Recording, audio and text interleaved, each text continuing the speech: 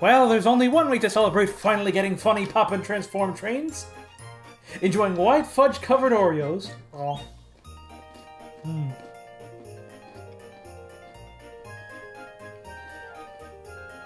These are really good toys, actually.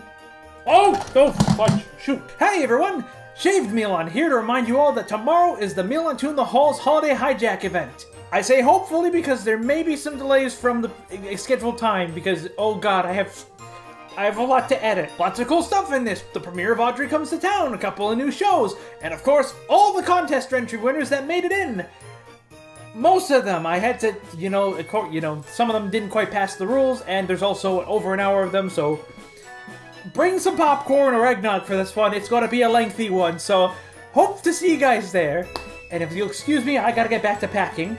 Well, we're, we're, I guess I gotta bring these over.